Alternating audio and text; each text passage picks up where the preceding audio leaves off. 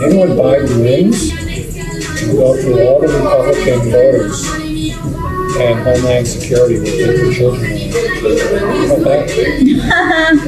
And we'll put them into re-education camps. Amen. in these times, which are unique. I mean, Trump, Trump is close to Hitler. What are we gonna do if we don't like you? It doesn't Go to the White House and throw Molotov cocktails.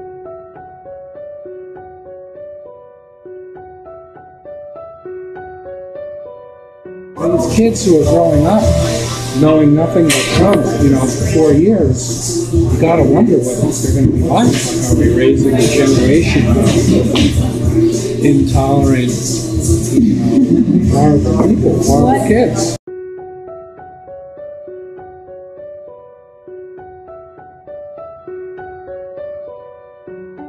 Enlightenment camps. Right. They're nice. They have Sesame Street characters in the classroom, and they watch PBS all day. I'm gonna go home and watch it. Dumb. You know, most people are dumb. It's good to live in a place where people are, you know, educated and know stuff. And can you imagine if you lived in one of these other towns or states where everybody's just stupid? What's great is like COVID is spiking in all the red states right now. So that's great. Why do you think so? because either those people won't come out to vote for Trump because the red states, or they'll- a lot of them are sick and dying. PBS has like real news, but CNN doesn't have real news anymore. It's just a talking head talking No. about Trump all day long.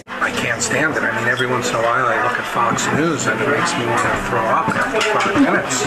It's all this Joe Biden shit now, all the Joe Biden Hunter non scandal, Biden. which is all made up. It's all ridiculous. And they are pushing them so hard. It's, it's unbelievable. So do you guys just ignore it? Yeah.